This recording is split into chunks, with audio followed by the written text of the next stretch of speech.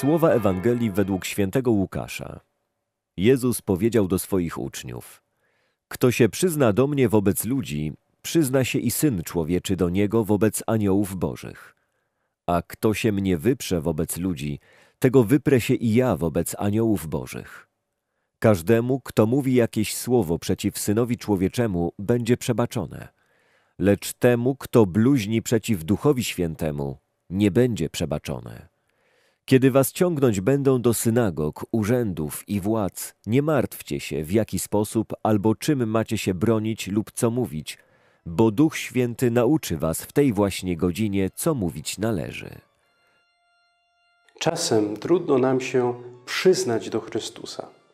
Strach przed opinią innych ludzi blokuje nas przed zrobieniem znaku krzyża w miejscu publicznym, przywitaniem się chrześcijańskim pozdrowieniem lub opowiedzeniem się po stronie ewangelicznych wartości. Chrześcijański styl życia zdaje się być już niemodny, nie jest już trendy. Lepiej udawać ateistę lub przynajmniej agnostyka.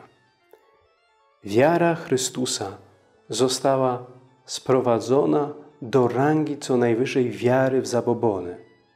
Jest ośmieszana przez media i tych, co chcą uchodzić za wielkich tego świata. A jednak na szczęście chrześcijaństwo coraz częściej przechodzi do ofensywy. Nie możemy pozwolić, aby chrześcijańskie wartości i chrześcijański styl życia zostały zepchnięte do skansenu ludycznych tradycji i zabobonów. Wiara jest wartością, którą należy chronić i rozwijać we własnym życiu, a potem również w środowisku, w którym żyjemy. Niech dobrej nowiny każdego dnia będzie coraz więcej w moim życiu i w moim otoczeniu. Aby tak się stało, potrzeba nam na nowo przyjąć Ducha Świętego. On nas poprowadzi drogą wiary i rozpali w nas na nowo ogień miłości. Bądźmy ludźmi głębokiej nadziei. Żadna siła zewnętrzna nie jest w stanie zniszczyć naszej wiary, nadziei i miłości. Niestety, największym zagrożeniem dla tych cnót jestem ja sam. Nikt inny, tylko ja mogę zdławić, zasypać te cnoty gruzem własnego egoizmu.